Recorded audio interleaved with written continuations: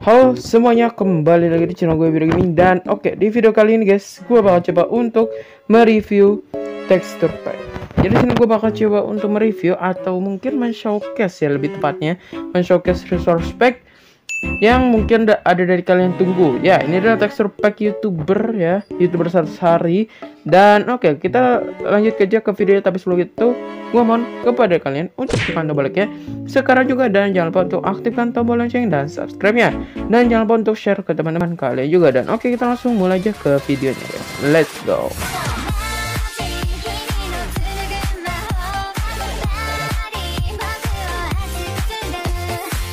Oke okay guys, jadi texture pack kali ini itu texture pack buatan youtuber yang bernama Pau Pau. Nah, texture pack ini itu adalah texture pack MCPC dan sebenarnya guys, texture pack ini belum update ke 1.19 yang official. Cuman di sini gua kayak apa ya kayak ya ngelihat aja. Mungkin yang mirip-mirip gitu kan. Cuman ini enggak 100% mirip sama yang aslinya guys. Ya. Jadi ini enggak 100% mirip sama aslinya. Cuman ini emang udah dari versi sebelumnya. Jadi dia udah pernah update versi sebelumnya. Jadi ya udahlah. Oke. Okay. jadi ya untuk bagian kayu seperti ini kurang lebih dan setahu gua kayu dia bang papo itu biasa ya nggak ada spesialnya. Dan untuk bagian orsnya nah untuk orsnya sendiri itu setahu gua ini bang papo itu teksturnya seperti ini guys ya. Jadi tekstur semua all, uh, tekstur semua ornya itu old semua guys. Di mana gold lapis redstone emerald bahkan sampai yang uh, nether nethernya kayak Goldie ya ini apa? Gold ore ya terus juga ada netherite dan juga quartz ya jadi kurang lebih kayak begini.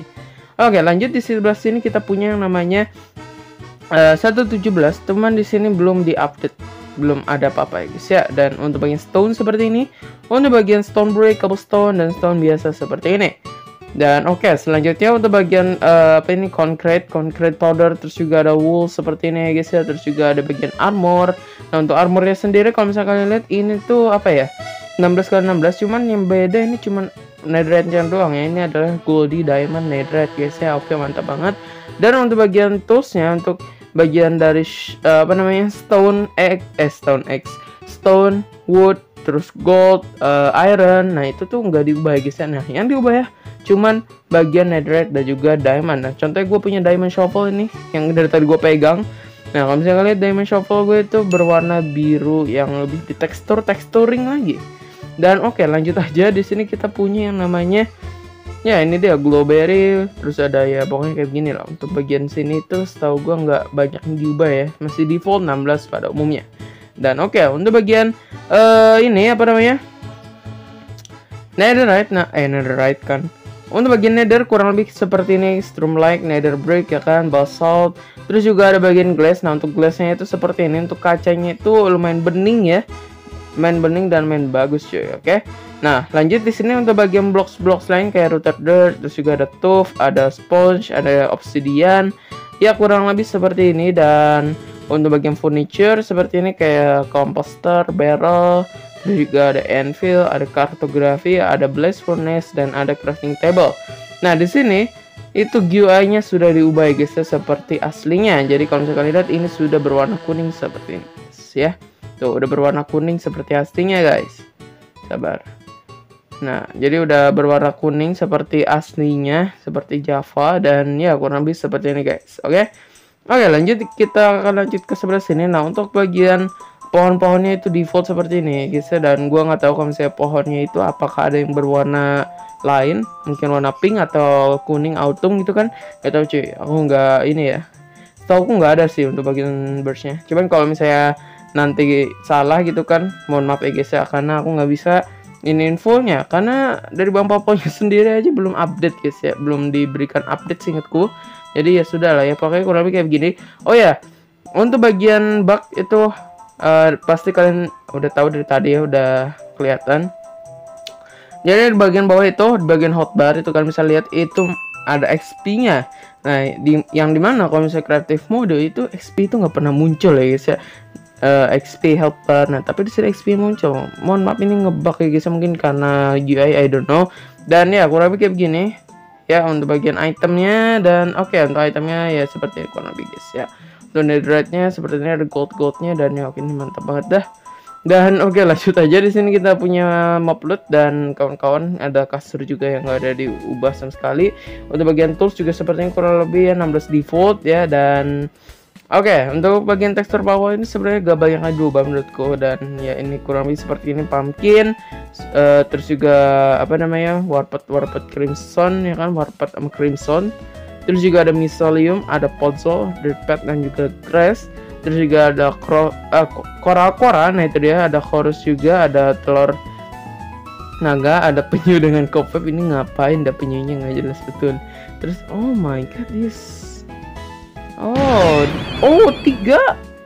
Oh lucu juga. Kenapa jadi review by uh, penyu guys Oke lanjut sini juga ada es, ada dead bush, ada pad dan ada bambu.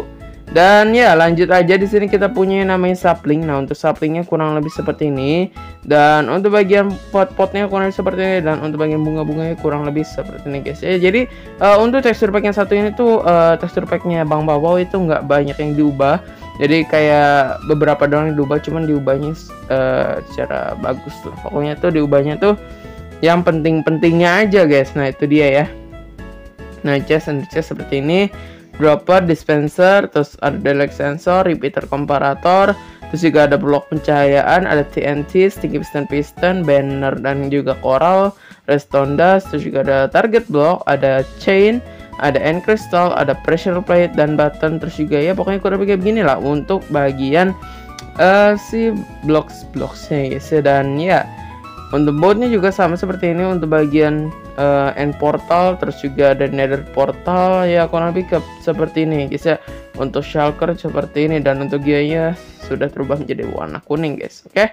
Oke lanjut sebelah sini kita punya namanya armor armor player dan juga kuda seperti ini. Untuk makanan makanannya seperti ini guys ya untuk makan kuku chicken potato bread terus juga untuk bagian musik musik disnya seperti ini guys dan ya ini mantap banget Selanjutnya untuk bagian uh, item lainnya kayak trident, terus juga ada candle ya seperti ini. Untuk bagian candle sendiri ini masih default, untuk bagian fishing rodnya juga default. Untuk bagian bucket-bucketnya itu default juga ya. Oke, nggak ada yang diubah untuk bagian bucketnya. Dan untuk bagian item lainnya kayak shulker shell dan boat seperti ini ya guys ya. Oke lah. Oke, untuk bagian malam harinya ya kita bakal cek untuk bagian malam harinya. Wait. Oke. Okay. Untuk bagian siang hari kurang lebih kayak begini dan untuk malam hari sahabatnya guys ya, ya ini default juga ya jadi nggak ada terlalu spesial spesial amat. Dan untuk bagian survival mode, nah untuk survival modenya untuk hunger barnya biasa, untuk XP barnya rainbow dan untuk bagian health barnya itu ada merah dan kuning ya by the way ini yang gue yang desain health bar gue ya jadi ya udahlah ya jadi uh, by the way kalau misalkan nggak tahu dulu itu gue yang ngedit ngeditnya GUI nya bang Pavo ya jadi ya udah Oke lanjut aja di sini kita punya bagian hujan. Wih, sabar. Nah, untuk bagian hujannya itu uh, mana? Oh oke. Okay.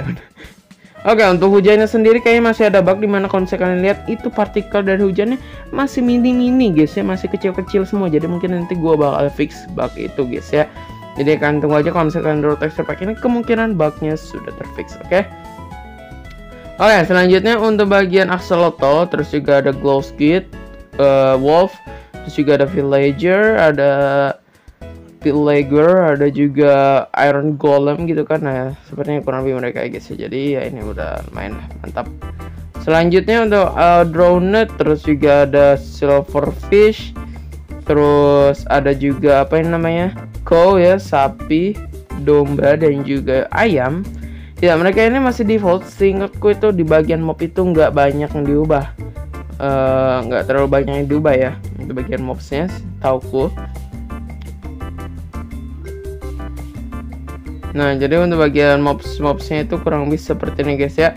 Dan ya untuk bagian ilama ya wandering trader ya terus juga ya pokoknya kurang lebih ini lah guys ya. Untuk bagian mobs mobsnya guys. Oke, kita langsung lanjut aja skip ke bagian 1.19 Minecraft Update World Update. Dan di sini untuk bagian uh, 119 nya juga berubah ya guys. Ya. Tadi ada yang loncat itu apaan Jadi ya udahlah. By the way ini mapnya belum 100% jadi ya untuk 1.19 nih guys. Jadi kalian tunggu aja. Eh uh, maksudnya itu uh, mungkin ada beberapa blocks atau map yang belum uh, muncul mungkin cuma dikit ya mungkin warden doang gue lupa cuman ya udahlah oh ya jadi langsung aja untuk bagian mangrove mangrovenya seperti ini nah untuk bagian mangrove uh, plank mangrove leaf terus juga ada mangrove roots ya ini seperti ini terus mangrove log mangrove door ya trap door dan juga door dan juga ada bagian mangrove uh, mod mod sama mod mangrove ya apa? Nggak uh, tahu ini apaan cuy. Mod root apa apa ya nggak tahu cuy. Ya udahlah. Untuk bagian pagar-pagar kayak pagar terus juga ada fence gate ada fence terus juga ada mood brick packet mood terus juga ada mood wall dan juga mood stairs seperti ini. Dan untuk bagian boatnya seperti ini mangrove boat chase sweet boat ya seperti ini kurang lebih. Dan untuk bagian tadpole seperti ini paket of tadpole dan frog spawn. Ini kenapa ada air? Tadinya ini ada frog spawn cuman terlalu cepat menetas ya untuk si frog spawnnya. Jadi ya udahlah untuk bagian telur eh telur kan. Untuk bagian uh, blok cahaya yang dapatkan dari frog seperti ini. Untuk bagian mobsnya seperti ini. Nah, kalau misalkan lihat ini kenapa berantakan, saya habis gelut sama warden. jadi nggak sengaja ke spawn. Jadi sebenarnya di sini ada barrier ya guys. Nah, di sini ada barrier. Nih gua nggak bisa ke sini ya tuh.